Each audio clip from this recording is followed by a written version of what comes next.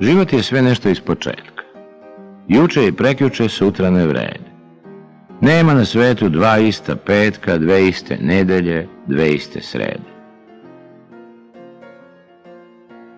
Pa čemu onda razočaranja? Ako je jedna ljubav čorak, odmah se drugčije i lepše sanja. I kad si najviše tužan i gorak, nekih se novih očiju setiš ih shvatiš, ti letiš, divnije letiš. Ko je to video da dečak pati, da kunjak mezavi da plače? Svaki put moraš ponovo znati da voliš belje, da voliš jače, ne da se vadiš, ne da se tešiš, već da se istinski do neba smešiš.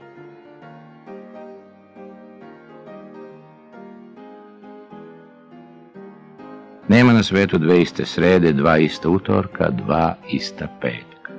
Sve nove ljubavi drugčije vrede, živi se svaki put iz početka, živi se da se nikad ne pada, da budeš snažniji posle oluje i da se u tvome srcu već sada sto zlatnih zvezda unapred čuje.